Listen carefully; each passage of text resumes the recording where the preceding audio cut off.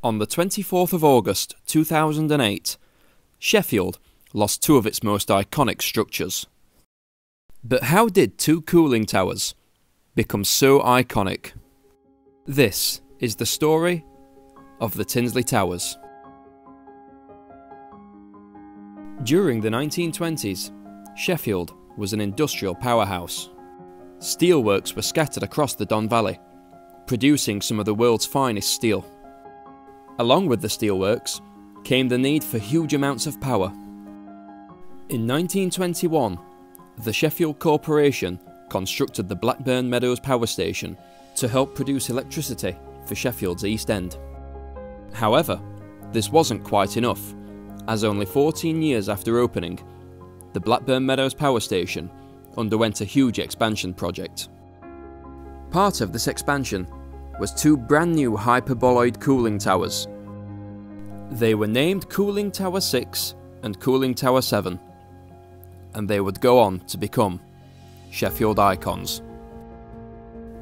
Throughout the 1940s and 1950s, the Tinsley Towers stood proudly on the Sheffield skyline, along with the other cooling towers, as the Blackburn Meadows Power Station generated huge amounts of electricity to sustain Sheffield's industrial heartland.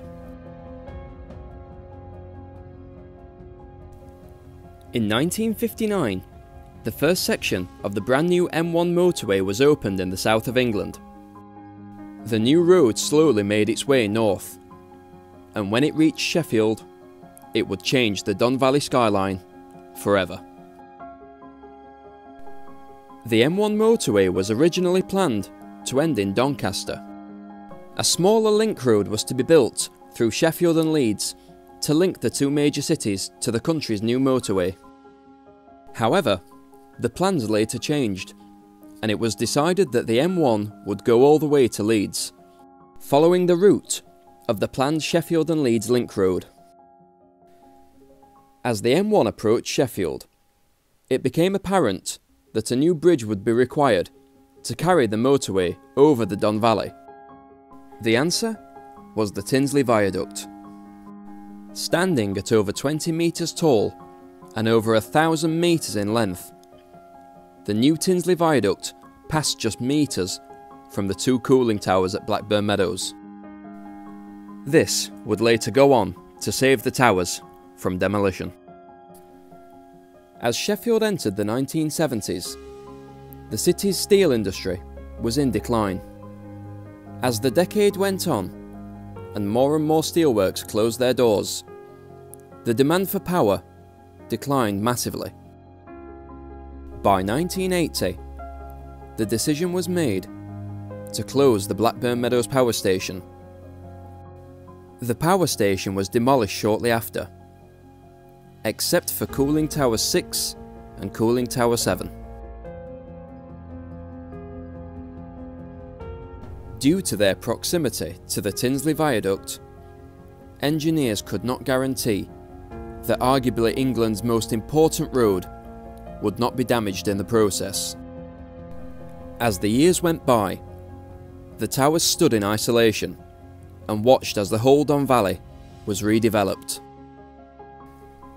Sheffield's once famous steelworks were replaced by hotels, retail parks, and shopping centres. But the towers remained in place and were seen as a tribute to Sheffield's industrial past. Residents of Sheffield become fond of the towers, seeing them as a beacon of hope at the end of a long journey. When you see the Tinsley Towers, you know you're nearly home. Rumours of their demolition were regular, but nothing ever come to fruition, and most Sheffield residents were certain they were here to stay.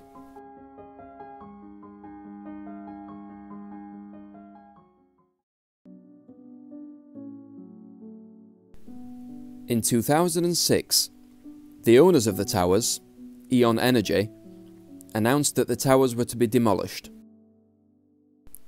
They claimed that the towers had become structurally unstable, and that following strengthening works to the Tinsley Viaduct, it was now possible to bring the towers down safely.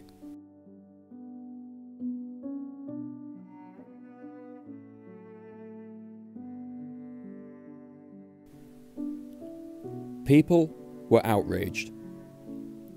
Multiple petitions were set up in an attempt to save the towers, and Sheffield resident Kyle Emerson even submitted an emergency listing application to English Heritage. This is the response he received. Dear Mr. Emerson, Thank you for your email about the cooling towers adjacent to the Tinsley Viaduct. The towers are the only surviving portions of the Blackburn Meadows electricity generating station and were built in 1937 38. The rest of the plant was demolished in the 1980s, but the towers survived due to their nearness to the Tinsley Viaduct. I understand that following strengthening works to the Tinsley Viaduct, it is now possible to bring the towers down without the risk of damage. The towers are a significant landmark and are also the earliest known surviving cooling towers of the hyperbolic form. Following a request to list, they have been subject of a detailed assessment by English Heritage's Heritage Protection Team. They recognise the rarity of the towers, but consider that the almost complete loss of internal features, as well as the clearance of the rest of the power station, means that they do not merit designation either by listing or scheduling.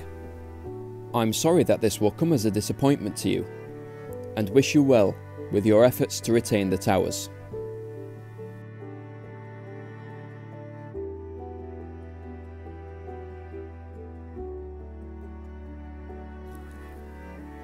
Multiple plans of how the towers could be reimagined were drawn up, but none ever happened.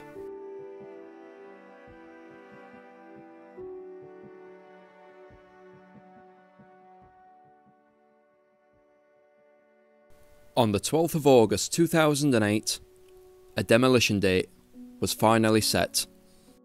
They would be brought down in the early hours of the 24th of August. The Tinsley Towers had finally been defeated. Over the coming weeks, high explosives were placed at the base of the towers as they prepared to say goodbye to Sheffield forever. As the sun set over Sheffield on the 23rd of August, thousands of people gathered to say goodbye to two of Sheffield's most famous residents. As the clock struck 3am, the klaxon sounded, and after 70 years of watching over Sheffield, the Tinsley Towers finally fell.